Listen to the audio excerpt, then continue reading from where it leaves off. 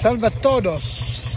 Siamo qui in questo nuovo video molto breve e semplice ma allo stesso tempo importante. Siamo qui nel video della sarchiatura melone invernale a una parte dei meloni invernali. Questi qua sono i meloni invernali, quelli neri, noi li chiamiamo spagnoli, eh, spagnoli.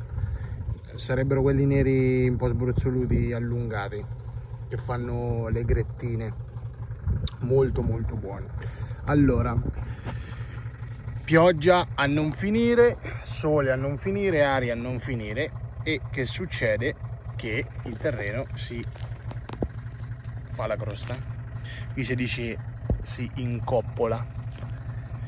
Bene questa coppola questa famosa coppola è ha i pro e i contro nel senso nel, nel caso delle, dei meloni è un contro perché i raggi del sole non riescono a penetrare questo strato perché guardate è uno strato molto importante.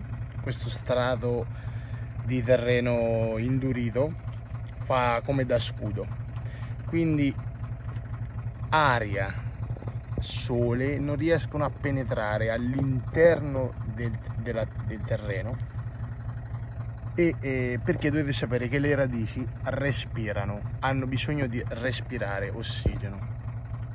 Quindi facendo una sarchiatura, eh, basta poco, eh, una lavorazione di così di profondità, giusto per togliere questa coppola e e le vernaiole ringrazieranno perché qui si chiamano, le chiamiamo vernaiole le vernaiole eh, ringrazieranno tantissimo. Inoltre ci sono delle infestanti come vedete e andranno sparite. Vedete questo è il risultato. E questa questo scoppolamento diciamo così eh, permette al calore di passare e asciugare il terreno. Quando ci sono molte piogge e che il terreno comunque sia resta per tanto tempo umido mollo ok sì ma a volte ok no. Cioè nel senso quando che è troppo mollo e le radici magari possono andare un po' in asfissia è meglio dare ossigeno è meglio dare aria. Perché ricordate che una sarchiatura, una zappettatura è come una concimazione, è come una concimazione, quindi è molto importante, è molto importante. Vedete?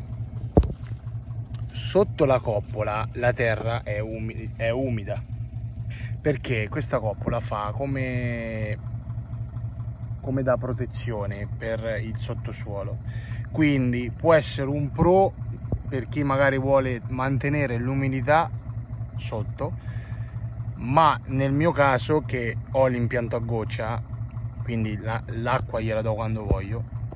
Quindi io la coppola gliela tolgo. Ora vi faccio vedere un attimino il sarchio che uso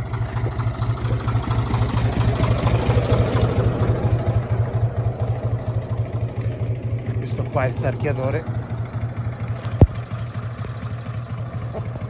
Vado su a cavallo del, del telo e poi ritorno giù. Molto semplice. Ora vi faccio vedere un video de, dell'operazione in atto e niente. Quindi detto questo ci vediamo alla prossima